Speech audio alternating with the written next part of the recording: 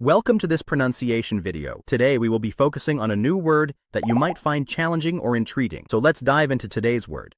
Management, which means management, abbreviation for management, overseeing and organizing business activities. Let's say it all together. Management. Management.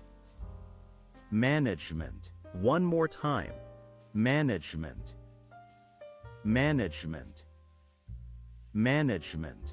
Thank you for joining us on this adventure in pronunciation. Remember, language is a journey, not a destination. Keep exploring, experimenting, and expanding your linguistic horizons. We'll see you next time.